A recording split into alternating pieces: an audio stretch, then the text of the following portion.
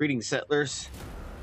All right, so I'm Kitsuaga here, and uh, I've been working with uh, Ludus Magnus Studios to bring uh, Sine Tempore, not sure if I'm pronouncing that right, uh, into uh, the tabletop simulator here, and going to provide a demo for you guys to play here later on. Uh, hopefully, here in a couple weeks, we'll be able to push this out publicly. Uh, so we're in the middle of kind of creating a gameplay video for you. Uh, the video you're watching now is just going to be a primer for that that video. And, and what I want to do is just go through uh, every hero and their skills and what they're doing, and also some of the enemies that you'll be facing uh, on this mission here. Uh, so yeah, let's uh, get down to it. so Akub is the the first hero we're going to talk about here and uh, he's my favorite. He's the one I've been playing, and uh, he's kind of the leader of the pack, uh, and uh, really like his his play style and what what he's got going on for him. So, kind of just to cover just real quick in general what you're seeing here uh, on these player boards here. Uh, if you kind of think of of Sine Tempore, it, it feels like Dungeons and Dragons, but in a dungeon crawler, dice chucking, RPG, all kinds of fun. I, I just I love it. There's so much depth to it, so many good options to choose. So that kind of helps us kind of get your mind in in how the game works. Uh, so here on the side we've got this here, and this is rapidity. Uh, this is the speed and how many action points you can get in a turn. Uh, then we have precision. Uh, this is used mostly for uh, range shooting and, and, things like that. Uh, and then you've got your physical, and right now he is a three. So that's also your defense and for your melee attacks. Uh, and this will be your mind here. Uh, so he's not very strong in the mind, uh, but very quick. And uh, last one here is your health. So he's got five health. Um, if you take five damage, five wounds, uh, your character pretty much passes out. And uh, on this side of the board, you're going to have the skills, and you can choose different skills at the start of your mission. Uh, and as you play uh, the campaign that they have for us, you'll be able to unlock uh, a lot of these skills. And um, I'll flip this over here and I'll show you. Uh, and so they start off with kind of your base skills, and then you can upgrade them as you go. Uh, and on this side, it kind of tells you what all the different skills are. So these are loads of different things. You can customize your character and play the way you want to play. Uh, tons of great stuff. I'm loving it. Uh, so right now, the mission that we're playing, we're kind of leveled up three times uh, in this, and so some of the skills uh, I have now won't be necessarily the ones you start off with. So we have those three, and this one here is a passive skill. So every character has a passive ability and this one's a tactician. And once per activation, ACAB can uh, spend one AP to raise or lower his threat value, uh, and that will be this here on the Perelium. Uh, and this is uh, useful in uh, how enemies choose who they're going to attack. So the higher your threat value is, uh, enemies will come after you instead of um, someone else who who's not very high in the threat value. And your threat value goes up anytime you wound an enemy anytime you kill an enemy, or anytime you heal uh, a hero. Uh, when you pass out, uh, or when you die, we're, we're not die, but when you your health gets to zero, uh, and you're you're out for a, a moment, uh, this will drop in the threat value a bit. So there's really not many other ways to manipulate that. So that's a nice passive ability to have. He's almost tanky, but my favorite part about ACAB here is his ability uh, on his weapons. Uh, and we have the gunblade here. It's got three different attacks. And you can tell when an attack is, uh, if there's a bullet on there, that's a, a physical type of attack, uh, but it's a range attack. And it's going to cost me three AP. So remember, I've got six action points. Uh, and that's going to take half my, my points. So I can move three and then uh, attack with this, either of those. Uh, and there's the range. So it's a one to four. Uh, and I have an attack bonus. So the way these you, you determine how you're going to attack is uh, so that's a range. Remember the bullet, and I look at my precision. I have three. So that means I'm going to have a base of three dice, plus my attack bonus, again, which is one there. And so for that attack, I'm going to to roll four dice. So I'll roll these dice, and for every bullet symbol that I get, I will get damage to my enemy. So in this one here is a great roll. We got one, two, three, three damages uh, that will be applied to the enemy. And the uh, the other attack here is cost the same, but it has a range of one, but it has an attack bonus of two. And the type of damage it is is it's a or a it's still physical damage, but that's a melee attack. So with my physical, then it's a melee, so I have a base of three and an attack bonus of two for that. I get to have five dice total.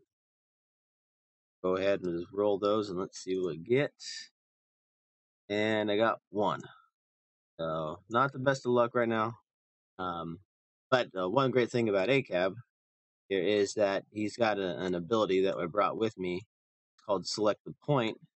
And with this, uh, it's basically I can make any dice uh, that I want to any face that I want it to be. So I, any dice is wild, and I'll get that once per turn, and that's how that will work out. Uh, my favorite part about this is the combo. So I can spend four action points, and I get to use both of those attacks, leaving me two left over to move.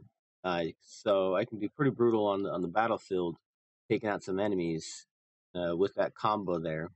He also uh, has this ability here, which is the charge uh, that we'll be using. It costs 5 AP, um, but I can move up to four squares and then perform a basic attack, which is uh, could be one of those two there. And uh, the only stipulation is that I, when I end that movement, I, I just have to be able to make that attack. So um, it's a good one to use. It leaves you with one left over, and you can really move down the field and attack this next piece of equipment here will be uh, his armor, uh, which, which, is real nice that it uh, is immune to bleed.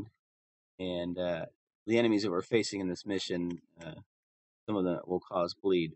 So uh, bleed will, will cause damage to you at the end of your activation. So you know it's just something you don't don't want to get stacked up with. And so the way that this armor is going to work, if if I'm being attacked um, by a physical attack that's a, a range or a, melee, I can add two to my base, which is three. So that would give me five dice, and I'd roll that for defense. And uh, we'll we'll cover that and, and what that's going to look like here in a bit. Uh, when an enemy attacks you, what you're rolling for and the symbols you're looking to get.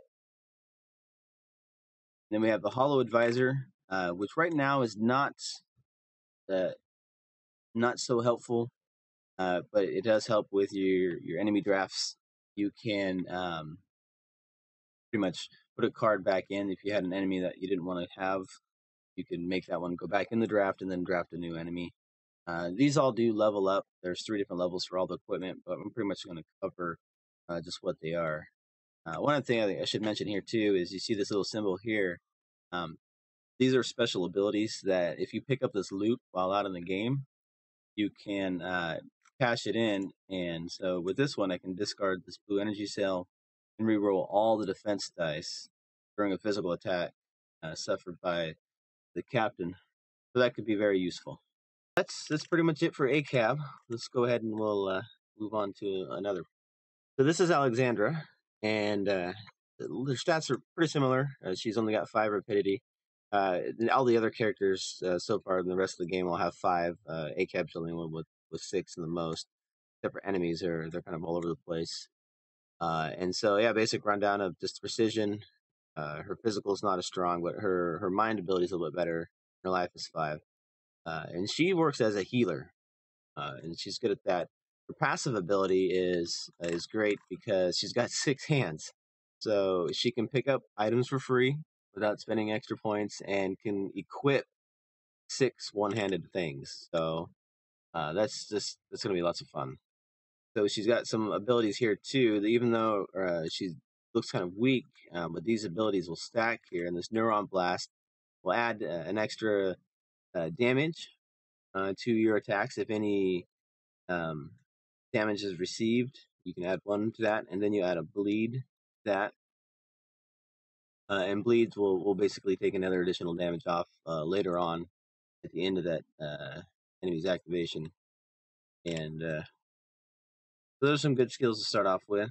Uh, if you're feeling you're kind of weak and you can kind of buff those up, uh, you can do more damage to your attacks. Are there's other things in here to improve maybe your defense if you want to, or improve healing abilities.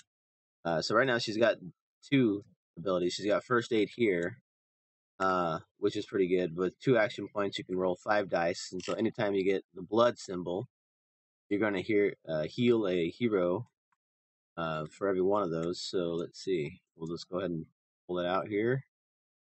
So as long as that hero is within three squares,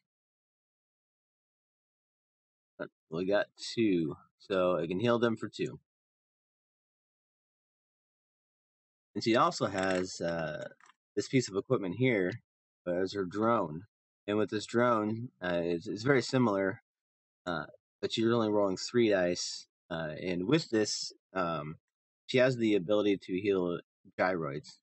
I apologize if I'm saying that wrong, but she can heal gynoids. Uh, and right now there's Alexandra, or Andromeda. She is in this mission with us, and she's a that's the only way she can be healed and taken care of. Uh, she can't be healed any other way. So, uh, by following what it says here, uh, you'll be able to heal her. You won't be able to heal humans. You'll pretty much have to disable this for the rest of the mission. But uh, from then on out, you'll be able to heal uh, Andromeda, help her out. Uh, so she has a an armor here, and so the way her armor is going to work is it provides plus two to any type of physical range attack or physical melee attack. Uh, so when an enemy attacks, she's going to have her uh, base to a uh, base of two here. She's going to be able to add two, so she's going to roll a total of four uh, for her defense. And we'll cover enemy attacks later and how that works and kind of a standard gun here. Uh, but the cool thing about hers is that she's got a reroll ability, uh, and so she's got an attack bonus of two, and her precision is three. So she's gonna roll five dice. So let's see what that's gonna look like real quick. My own brains. Okay, there's one right there. Perfect. So that means I get to re-roll that one, which is nice. So I've got one damage here, and I'll go ahead and re-roll this and uh, the rules in Sine Tempore is you can only re-roll a dice once, no matter what uh, reason or where you're getting the ability to re-roll it. It can only be re-rolled once. So I got another brain on that one. I won't be able to re-roll it. Even if I had a re-roll token, I couldn't re-roll that. Uh, so it's only going to be one damage. All right, and that's going to be Alexandra. All right, this here is Andromeda 2.0. Not sure what happened to 1.0. Maybe we'll find out later. But uh, so yeah, let's start off with her passive ability here, and that basically means uh, she can't be healed uh, by anything unless it says it heals gynoids. Um, but the nice thing about that is she doesn't. She'll never get a penalty dice. And the way penalty dice work, if you, uh, I believe it's if you take three wounds uh, from then on out, you have to roll a penalty dice, and I took hers away because she didn't need it. What a penalty dice does, let's say we're doing an attack of five, uh, and we have three wounds, we have to roll a penalty dice, and so the penalty dice is exactly the same as the other dice, so it will take away whatever we get. So that's perfect right there. So because of that penalty dice, I lose that. Now I only get these results here to choose from. So she never has to do that. Uh, which helps her out a lot. Um, and she's got some good defense. So let's go over her skills here real quick. Uh, so at the beginning of her activation, she's going to get a, a reroll token. So she can reroll any dice, uh, and that happens at every activation. She also has uh, this uh, here, which is shelter. During a token phase, she gains an endurance token, uh, which allows her for one of her defensive rolls to add uh, one to this, so she'll be have a base value of four against one attack. uh, which is very helpful. And her last ability here is uh, Nail Down, which uh, if you get three of these push symbols when you roll a dice on a basic attack, so coming from her uh, gun here, uh, that's going to prevent that model from moving during their next activation. So it's good for crowd control, keeping those big enemies uh, pinned back away from you, uh, especially those melee ones. They can hit pretty hard. So let's go over her equipment here real quick. Uh, so her first line of defense is an energy shield. So anytime she's receiving a physical attack, melee or range, she can roll one dice, and if she gets the shield symbol, uh, the uh, attack is completely negated. So that's that's real nice. And I believe it's a, a one in six chance on there with that shield. Um, yeah, one in six chance. So it doesn't always happen, but it's nice when it does. And you also have that reroll dice if you're really desperate to to get that uh, to pop. Uh, but then she does have some the Titan plates here. And with this, uh, she gets plus one to her base defense, which is three. So she's going to be rolling four dice for defense, but only against uh, the physical attacks. Uh, so basically, other attacks are like mind attacks. And she's also immune to poison. Now, her, her gun's pretty cool here, and I, I like uh, the mechanic that it has here. Uh, and it's got an attack bonus of two, and her precision's three, so we're going to be rolling five dice. So let's grab grab these here.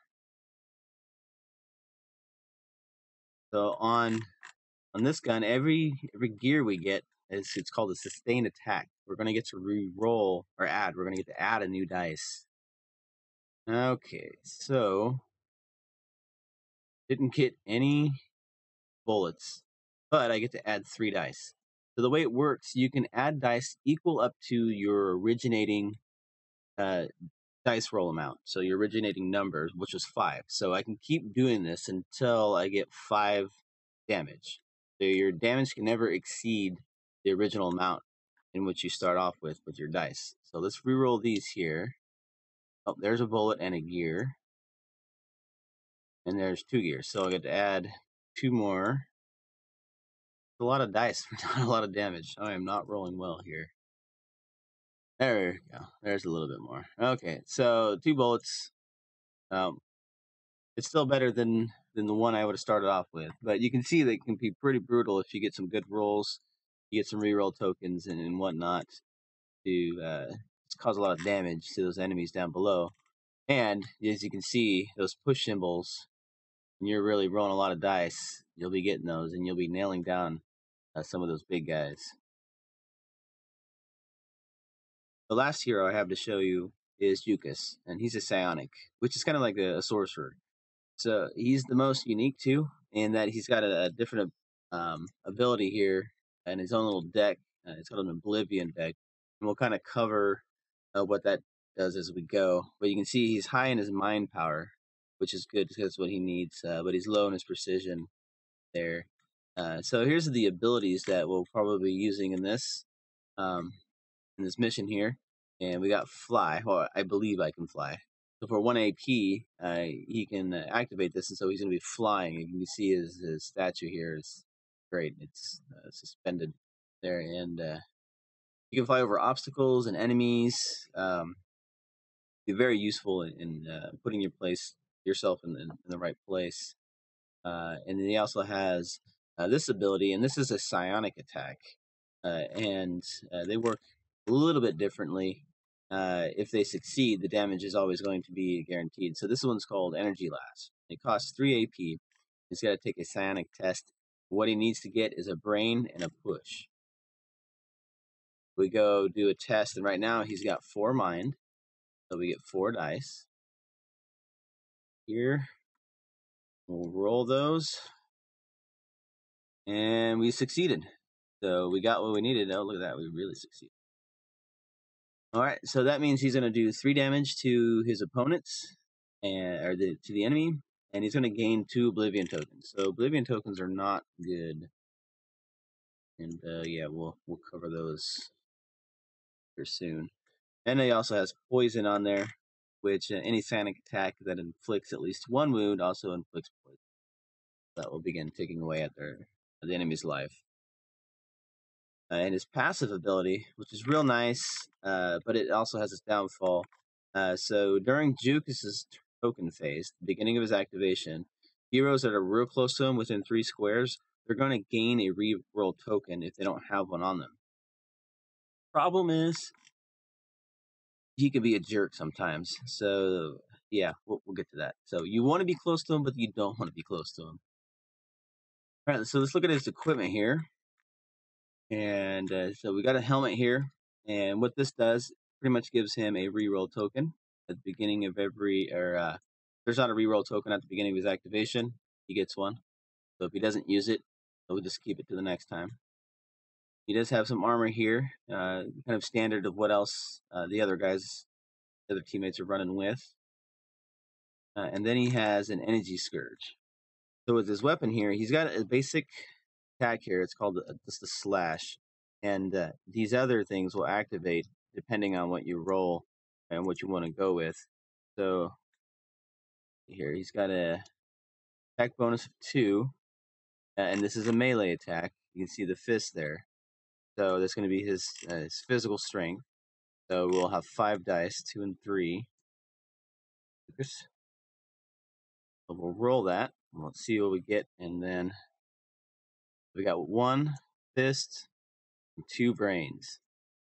Perfect. All right, so with this roll, it's, it's going to do one damage. But what we could do, uh, if the Sonic, the Psionic Blade, so if the slash obtains two brains, it becomes a psionic attack.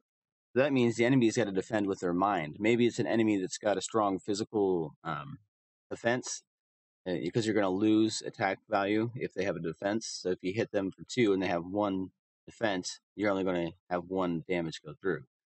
But if they have zero mind defense, then all that damage will go through.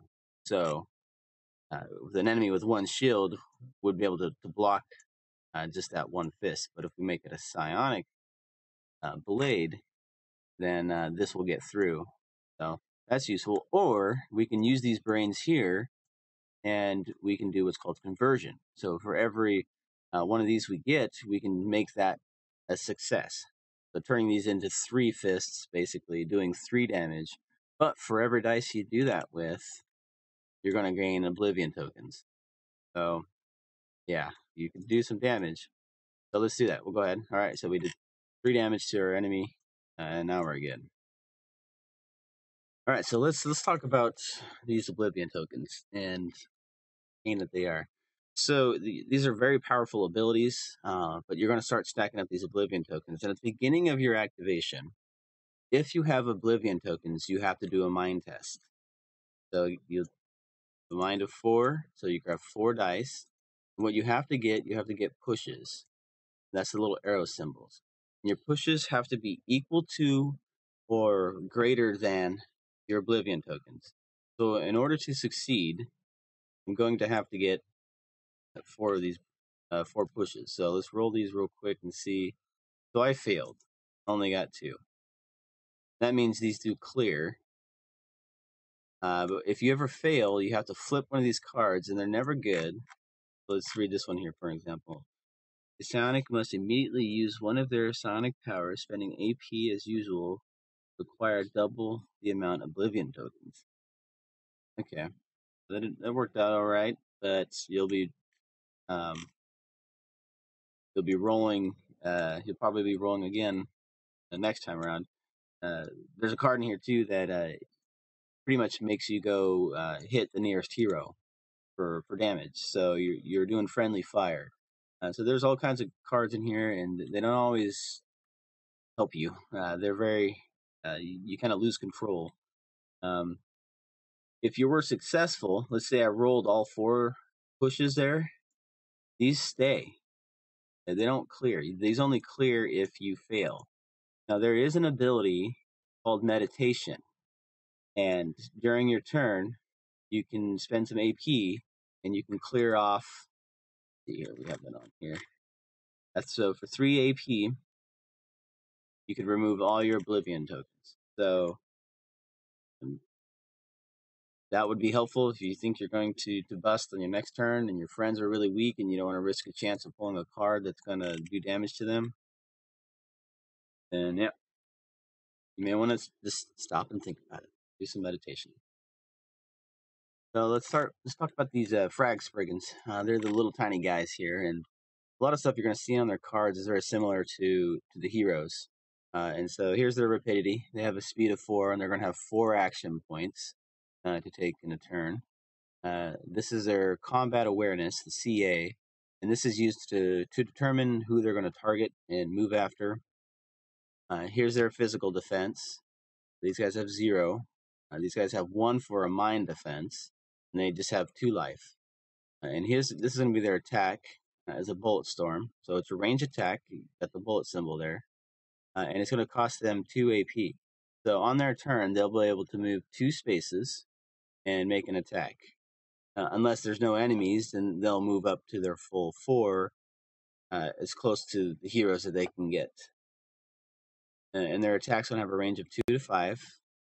Uh, and this is the damage that they're dealing. They're dealing one explosive. You can see over here, this guy on his attack, he's going to be doing two fists and one bleed. So we'll, we'll talk about his when we get there. Um, so when they attack, let's let's go through that, and uh, we'll bring bring him down over here. All right, so he's gonna let's say he's gonna attack Andromeda here, and uh, drop some dice. Okay, so he's gonna do an attack against her. So he's doing one damage to her. You think of it that way, uh, one explosive damage. So what Andromeda is going to do? First, she's going to use this uh, this ability here, her energy shield. So let's just grab one dice, roll, and see if we get that. And we didn't get it. So the attack is coming in. Sorry about that. Now we need to do a normal defense roll here. And so it's, it's a physical attack, so it's going to be hitting us there. So we get three dice for our base and we're going to get plus one from this armor plate here. So we're going to get four dice.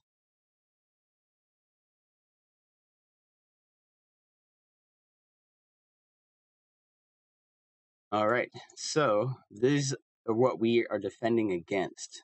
This is our defense roll, and we defended against one explosion, which is perfect because that's the type of damage he was going to do. But if you read over here too, and you read down, um, something here that's called malfunction. So if the defense test obtains a bullet and an explosion, then all adjacent models suffer one wound. So anything around this little Spriggan, he was shooting at us, uh, and our defense roll when we got a bullet and the and the explosion, so his gun malfunctions, and everybody around him will take one wound, friendly or enemy. But uh, there's another exception to that anti blast. So if he's on this sector uh, of the time up here, if he's on this sector, which which he is right now at the beginning, uh, the malfunction it doesn't take effect. So the last thing on this card here too that uh, you'll want to know, and it's called shooter. This is kind of his AI and his tactics. Uh, and what a shooter does uh, is they try to get as far away from their enemy as possible while still being able to shoot at them. So if he was one square away from you, he would move two more away because he's got a move of two, and then have two ac- uh, action points left to take a shot at you. So they're always going to try to get away from you and always start to run away. So some enemies will have these, some won't. Okay, now the hunter got rapidity of five, and he's got uh, CA of three. He's got one shield, uh, no mind, and then four health. So let's let's bring him over to um, ACAB, and we'll have him do an attack against us. All right. So now this hunter is going to attack ACAB. This is a melee attack, um, but it does have a reach of two. So even though it is melee, he can still hit me if I was two squares away from him. Uh, he's got five AP, so he can move up to two squares and then spend his remaining three to make this attack. So he's going to try to hit me for three damage, two of those being fist and one being a bleed. So again, I have a base defense of three and plus two this type of attack. So I'm going to get five dice.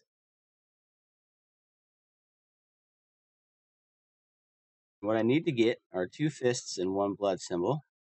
So I've got one, two fists, no blood. So I only block those two melee attacks coming in. I'm still going to get afflicted with bleed. But thankfully, I have immune to bleed, immunity to bleed, and I won't take it. Now I'm fine. I'm going to flip the roles here, and let's, let's do an attack against the hunter uh, from A cabin and kind of show you what that's going to look like. So, beginning my turn, let's say I'm already sitting right next to the hunter. And uh, so I got 6 AP. Uh, let's do my combo. So let's just spend 4 AP, and then I'll get to do both of these attacks. So starting with my blade shot, which has attack bonus of 1, and I'm needing to get bullets for that one. So the base of 3, and that gives me 4 dice. Right? Ah, oh, great roll. Look at that. So he's going to hit be hit with 3 damage.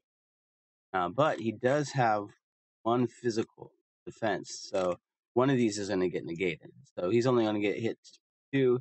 He's down to half life. That's great. Whatever. I still got one more attack to go here.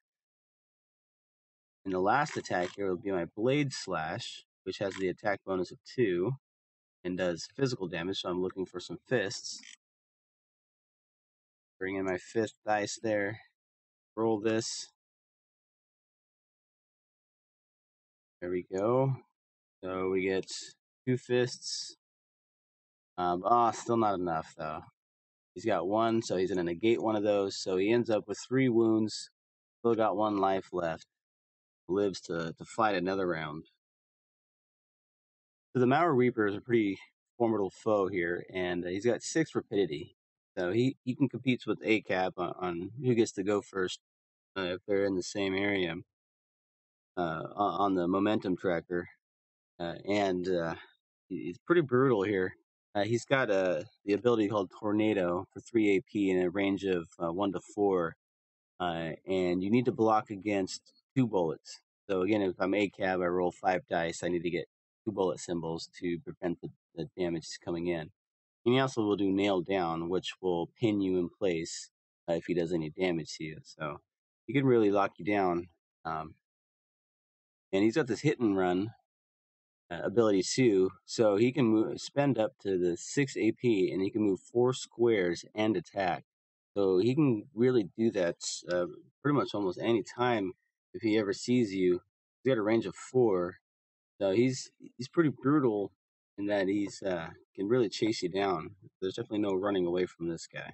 And our last enemy, the bully, and he's a big one. He's almost he's he's definitely above the level we're at in this mission, uh, and we're going to need all four of our heroes to take him down. Uh, and th- that's the point of this mission. So, uh, what we do as heroes, uh, we start uh, off in this corner here, and we have to work our way in. And there's these teleports that will take you from here over to where the bully's at. And these only can be used uh, once so in order to get all four of us over there, we have to get all four of us to one of these locations. And we have to work through those enemies, and you don't have much time. So you want to get all four guys to pop over there as quick as you can and almost at the same time and to hit him hard and all at once. If not, he's going to be doing a lot of damage to you. So yeah, it's it's been pretty rough playing the mission. And uh, he's he's got some brutal attacks here. Uh, and he's got a uh, defense of two, so you have to hit him really hard. He's got a life twelve. He's he's he's gonna be difficult to take down, uh, and he's got one of these combo attacks. So he, he's able to move one square, and if you're within one square, he's gonna do a combo attack on you. He's really gonna rip you up. So his first attack is going to um, is going to have a range of one, uh, but it does have a reach of two, so he, he still can hit out two squares, and it is a melee attack, but that reach on there, yeah, he's going to get you.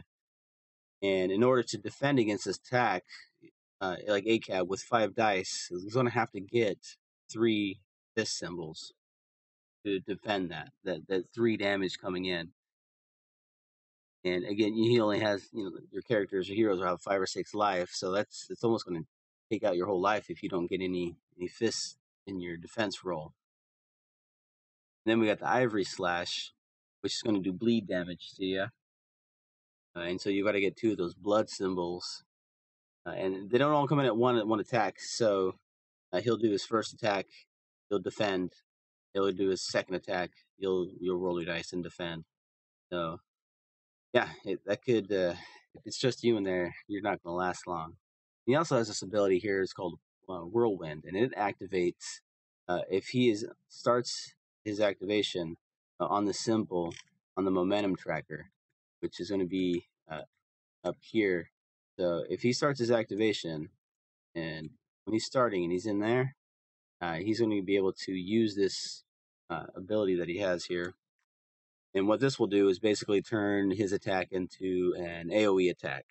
Uh, so all the enemies uh, that are adjacent to him are targeted by his attack.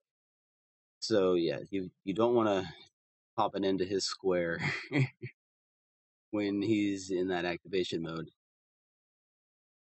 The last thing I'm going to cover is the momentum tracker, uh, and I really love this mechanic because it really can can lead to some great decisions in, in how you want to play. Um, you, you want to go all out and make some big attacks, you can do that. Or if you want to just, you know, do a couple little things, uh, it just really adds to a lot of strategy in the game. So the way it works, it's kind of like a clock here. In in the, the middle, you've got like the hour hand, and then the outside, you've got the minutes.